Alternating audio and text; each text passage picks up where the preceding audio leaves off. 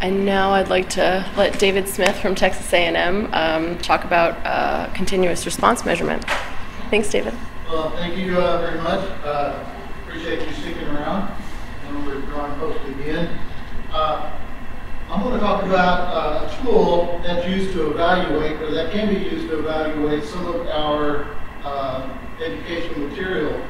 Actually, not evaluate, but it can be most useful if it's to pre-evaluate what we, especially uh, videos or presentations, before we actually roll it out to a larger audience. It's called continuous response measurement. It's also called dial testing. And uh, it's a tool that's used a lot in politics. Uh, you'll see this tool used um, quite a bit around the election season and focus group sessions. I know that you turn on uh, Fox News, they have a person that's doing this all, every day, it seems like. But uh, purpose of this presentation is, is to evaluate or assess the effectiveness of one of the videos that Pam just referenced uh, on mitigation. Uh, we had uh, a video that was produced that, well, the intent of that video was to include it in uh, this online course. And um, I had an opportunity this last year to uh, actually to show that video in its entirety uh, to a group of uh, extension uh, educators and NRCS folks uh, at a venue that we had that I'll talk about in a little bit. So that we could get that feedback from them on, on, on this, this product. my co-author, Dr. Saqib Mukhtar, is here. He's the Associate Dean and Ag Program Leader for University of Florida Extension. He uh, was the PI, uh, I'm, in the southwest region of this project, and he was the PI for four out of the six years of, the project. And so he was involved in this as well. I won't go too much into the background of the project. Uh, Pam did a good job of explaining what, what we're all about. Uh, I'll just say that uh, in the southwest region, we have eight states that primarily are responsible providing this education to. The objective was to encourage livestock production practices that are environmentally sound, climatically compatible, and economically viable. So that was the intent of the project. In the South, of course, our focus, focus was mainly on beef production, both pasture and feedlot. So the producers in our region, that was our focus throughout really the entirety of the project. Uh, the project there started in 2011 uh, initially for five years, and we did get a one-year extension. And so uh, we just finished up with that project. We, we've tried a lot of different approaches uh, to educate the extension agents and the technical service providers in our region. Uh, through face-to-face -face workshops here in the Southwest region, we had four uh, workshops over, over uh, six years. And I will say that uh, with this particular subject in our region. It was a hard sell to get extension agents to show up to a climate-related event.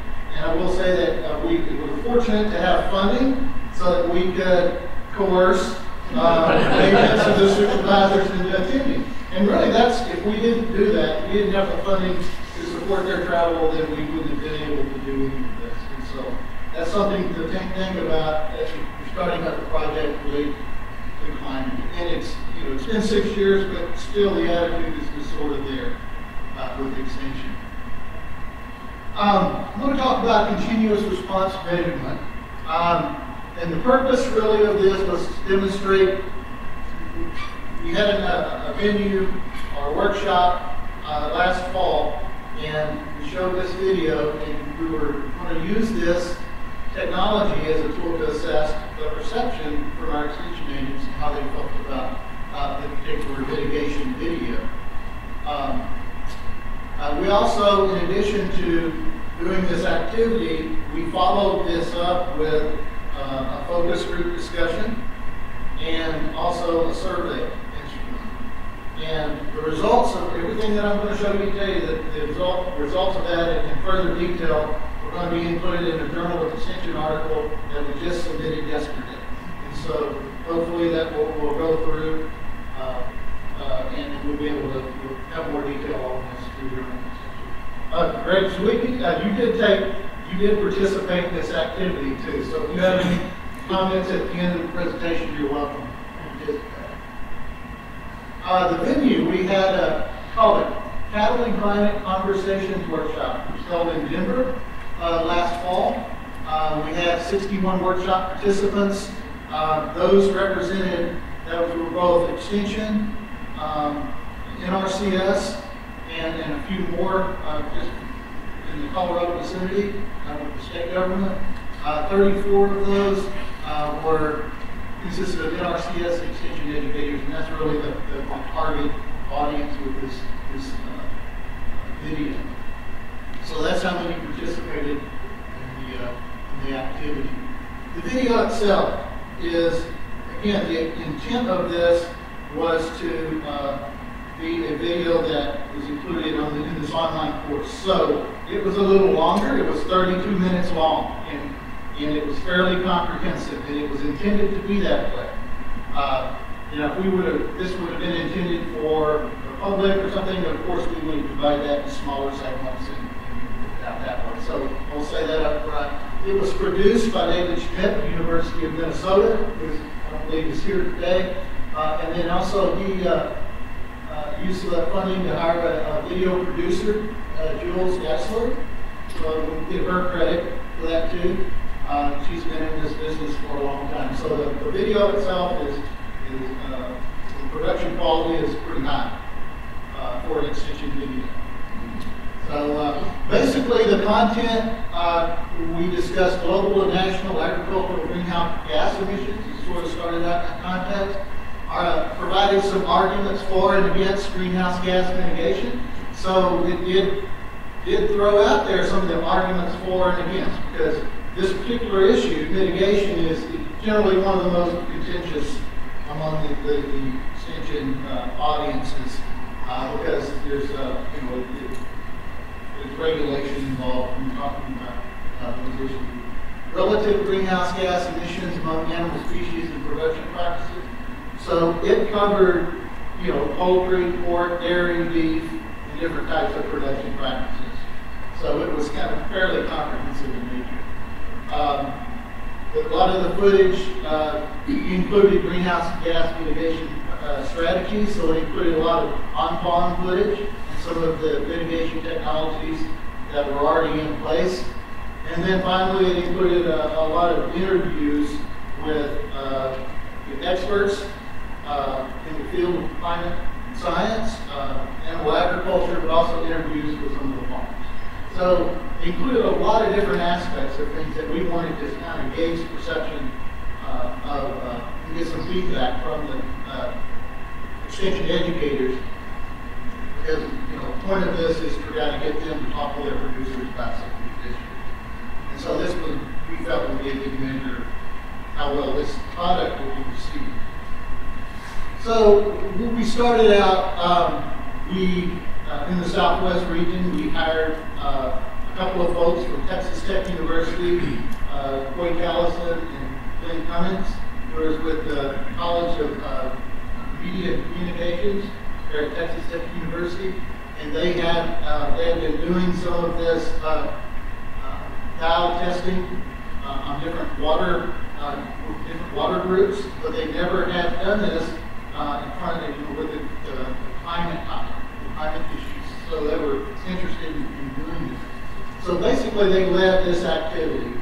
We, uh, we, there was about 34 combined uh, extension and NRCS there. So that's the ones that we wanted to target with this activity. So they were provided dials, handheld dials, and then uh, basically they provided a brief ex explanation of you know, where to start and then how to adjust uh, continuously.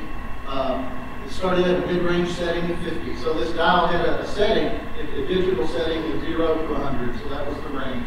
And they were instructed to start at 50. And then they were to adjust their dial up or down continuously to rate their agreement with a particular stick. This is really the important part if you're going to be doing this. What are you, what are you gauging? What question are they reacting to? And so we felt that in this mitigation video, this is the question we asked. for the statement. This is effective at encouraging adoption of mitigation techniques. So that was the ultimate goal. So did the, did the participants feel that the messages that they were receiving in this video uh, were effective in that regard? Uh, and so the responses range again from zero, which strongly disagree, to 100, which they strongly agree. And so video is shown in two 16-minute sections. So it was a fairly long video. We sit there and do this, you know, for 30 minutes. So we divided up into two different segments and played uh, at different areas, different times of the day. Uh, the responses, the response rate, was, the sampling rate was once per second, and so it was fairly instantaneous. And so they were able to correlate that with the video footage and, and show some of the, uh, the findings. So I'm going to present four of the key findings that we, we got out of this activity. Not only the data that we got, but also um, this includes some of the, the focus group discussion and some of the uh, survey results as well. And again, more of that will be in the Journal of Extension paper. Okay, so what, what did they like? Okay, they showed a preference for actionable insights and real-world applications. That doesn't surprise us, probably. Um, but when you're doing, a, when you're involved in producing a product like this, and in video, you can get sort of uh, uh, thinking outside of you, thinking in your own world, and you sort of lose that connection uh, or intent. So I think it's important to, to just show this. They preferred a enumerated presentation of specific greenhouse gas mitigation techniques and benefits. So whenever we had uh, footage come up and we had text, we showed bulleted points uh, that were relevant uh, to, to, them, then that's where the dials went up, and they showed the most agreement with. Uh, so a little bit on the left is a little bit difficult to see here, but this is the overlay. The video's playing in the back. This is the statement that they're reacting to. Again, this is effective at encouraging adoption of mitigation techniques. And then overlay is, the, the screen uh, that shows the, the results, continuous results of ballot. Here on the left axis, we see this is the scale of 10%. This is in percentage actually. So it goes to 0 to 100. And the little white bars show the percentage of that those audience members that were fell into these categories, you know, level of agreement. So we started out here, and remember the mid-range is 50. So all of the participants rated this at this point in the video in positive way. They showed an agreement with that. There was no 100%. And then we're showing a, a graph, continuous uh, line graphs here, which shows that the upticks and the downticks. Okay? And then on the right here, it breaks it down into, we had 34 total participants, seven of those were NRCS, uh, 22 were extension, and then we have five others. And so you can look at the graphs, and sometimes it's, a, you know, it's interesting to see how these diverge. So, basically that's uh, uh, one of the findings, uh, real world application of greenhouse gas uh, technologies again, we had several points in the videos where we had footage overlaid with uh, bulleted list talking about, uh, you know, points. This one particular one is nitrous oxide emissions from soil, and uh, just short points. Uh, feed conversion efficiency, um, just best management practices there, and you can see that, you know, the lines are going up, and in both of those, all of the participants uh, showed positive responses these. Uh, whenever you had on-farm footage, I five minutes left? On-farm footage, uh, that was always uh, correlated with strong responses, so wherever you can include those. Uh, here it is uh, on-farm technology, actual farm footage. You see an uptick. Uh, whenever there's uh, interviews of producers or advisors out in the field, it correlated with a positive reaction. You see this was very high. Whenever they did the video with the, uh, footage with the farmers in the interviews, that's where their, their was, was very high. Uh, others farm footage and, and non-farm uh, mitigation technologies. Number two, preference for peer information sources. Uh, participants rated short interviews with academics throughout the video as least useful. Okay, and we had uh, probably six or seven interviews during that 30-minute video, and it was consistent. Whenever we had footage of an expert sitting in a chair doing an interview, that's where the uh, it, it was most negative. And the participants suggested, this is uh, information taken from the focus group uh, suggested that the speakers featured in the video offered redundant information.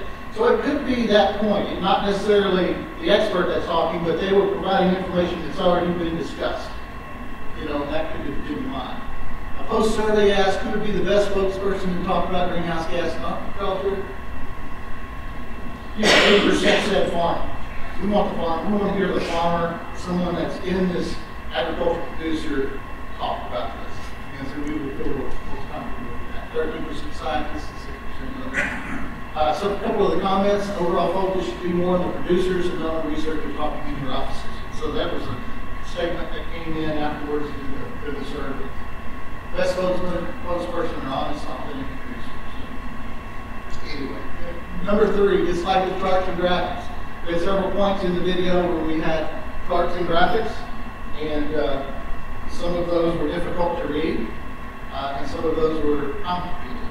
And so participants noted a negative response elements with global or international focus.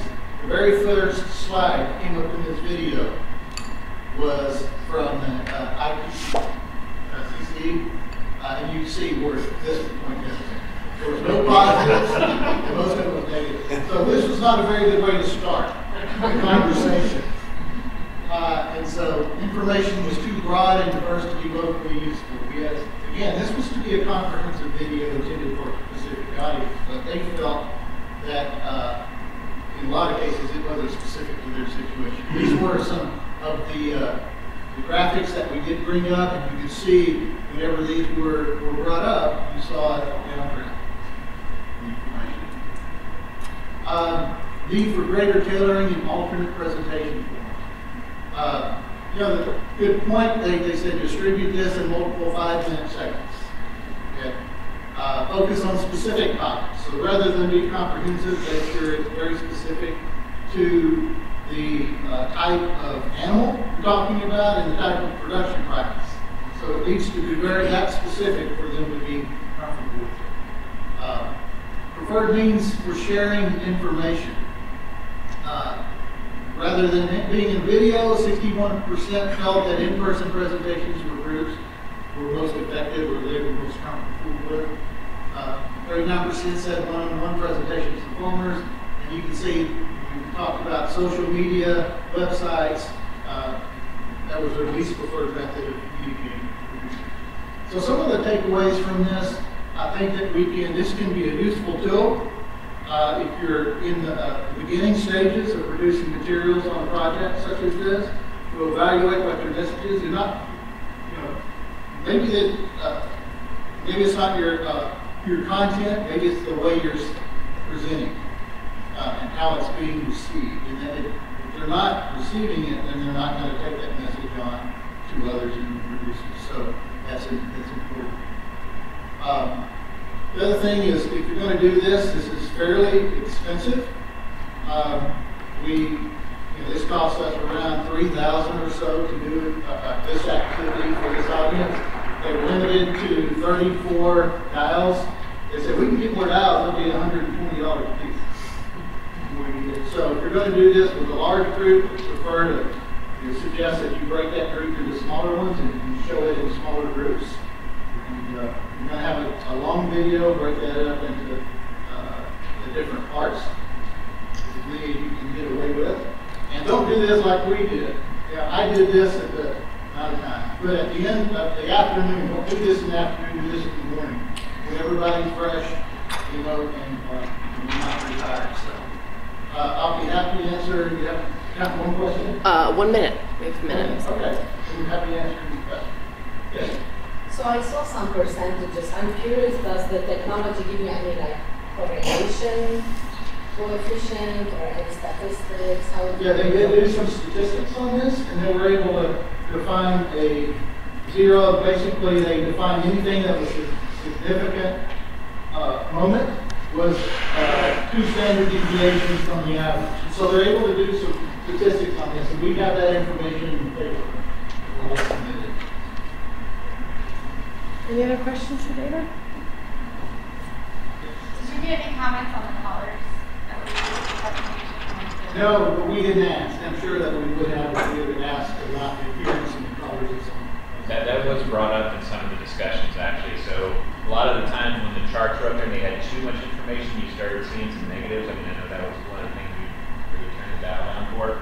The colors as far as people's clothing, I know there was Yeah. an issue with one of the, one Pattern of of clothing, color of clothing. they Yeah, well, the researchers, the reason the researchers ended up getting such a low score most of the time was one, they were in an office and not, you know, out on the farm. But I heard a couple of comments from other people that they didn't like the the clothing color choices of the That Be was careful what you ask. I was just wondering where along with the, I saw the slides and I couldn't read the text through the picture and I think I did not. Yeah, Yeah. comments on it. Speaking of color, uh, you might bear in mind that about five to ten percent of males are colorblind, including myself. And those red pointers, laser, are invisible. And very quickly, some of these participants are also producers themselves. So you're training the trainers who are ranchers and producers, majority of them who are. Seventy percent, so. that's- Well, let's thank David for a great presentation.